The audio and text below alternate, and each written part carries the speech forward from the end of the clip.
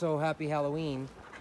The food bank had pumpkins today and uh, gave a bunch to the hogs. And of course, the chickens are eating as much as they want, especially the seeds. And it's just such a nutritious, great, awesome food. And of course, if you've never fed pumpkins to, to cows, uh, you don't know what you're missing.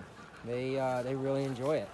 Um, they get right in there and eat it. And I've heard, and I don't know if it's true or not, that pumpkin seeds are a natural warmer, but um, I know they're full of vitamins and minerals and just general good stuff. Pumpkin's a superfood, in my opinion, and it's good for the cows. Gives them a little bit of variety in their diet, and it goes to uh, good use instead of going to the landfill out of the out of the uh, food bank. It's such a shame that some farmer somewhere grew this and they were just going to toss it out. I mean, that just seems so wasteful to me. But I'm going to turn it into beef and turn it into uh, nutrition for all these pregnant heifers and cows here.